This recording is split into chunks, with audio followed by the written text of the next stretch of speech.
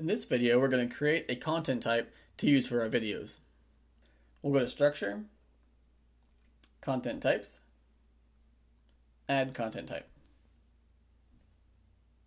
We'll just call this a video, and we'll save and add fields. We need to add a video field.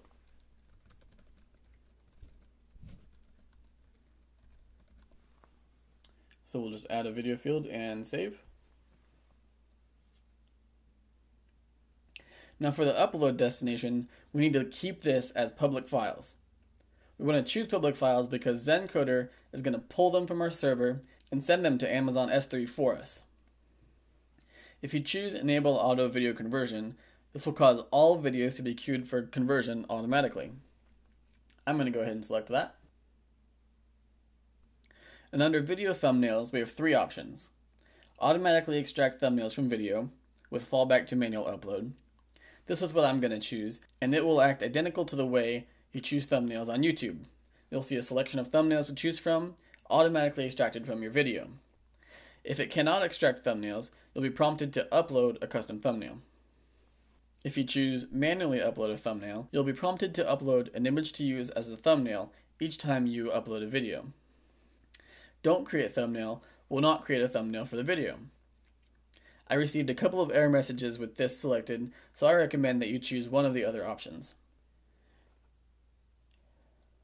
The default video thumbnail is a thumbnail that will be used for all videos, including those that are not able to have thumbnails extracted. When you create a video, you'll be able to upload a custom thumbnail or use this default.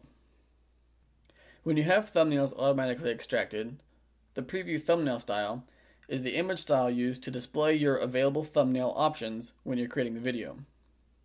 This does not affect how the video is shown to the end user, only what you see when you create a video. Everything looks good to me, so I'm just going to save field settings. In the allowed file extensions, add any formats that you're going to be uploading to your site. I'm going to be uploading an M4V file so I'm going to add that to my list.